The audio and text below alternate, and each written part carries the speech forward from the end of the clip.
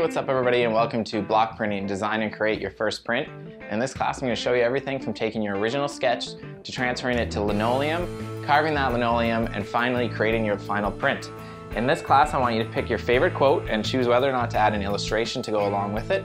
In my case, I did decide to do that. I picked Fortune Favors the Brave, and I decided to do a little bit of a creepy fortune teller to go along with that. I've got some skulls, you know, some magic books and potions and things like that, just to add some interest to the overall print.